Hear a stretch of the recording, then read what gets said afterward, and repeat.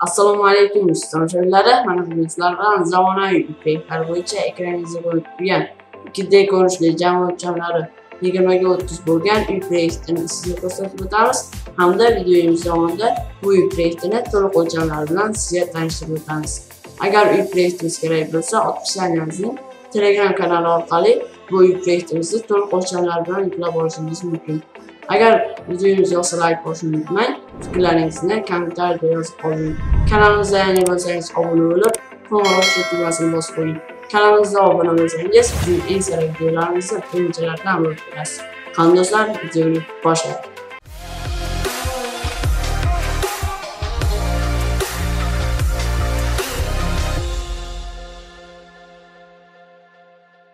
assalomu alaykum men olib bor uyimiz podkast bilan tanishib qolgan bo'lsak bu uy pirovkamiz 5 xonali uy pirovkasi hisoblanib, ona rozi bilan tanishib chiqadigan bo'lsak, bu yerdan kirganimizda bitta mehmonxonamiz mavjud. Mehmonxonadan chiqqanimizda bu xonamiz ota-onalar uchun yotoqxona ichida dushi bilan, bu yerdan chiqqanimizda bu xonamiz esa umumiy dushimiz, bu xonamiz esa kotol xonamiz, bu xonamiz e, umumiy sanuzel bu yerdan chiqadigan bo'lsak bu xonamiz. Oilaviy dam olish xonasi bu xonamiz esa oshxona bu xonamizdan chiqadigan bo'lsak bu xonamiz bolalar uchun yotoqxona. Bu yerdan chiqqanimizda bitta kattagina koridorimiz mavjud. Koridordan chiqqanimizda esa bu yerda bitta yozgi oshxonamiz mavjud. Bu xonalarni siz ko'ngilingizga mos qilib alishtirishingiz mumkin.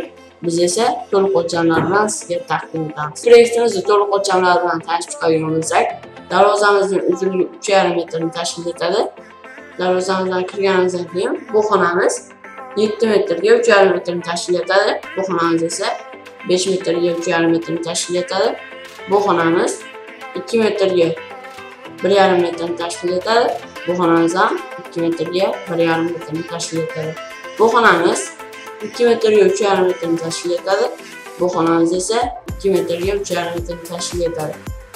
Bu xonamizni razmerlariga keladigan bo'lsak, o'zingiz ko'rib turganingizdek, bu xonamiz 4 metrga 3,5 metrni tashkil etadi.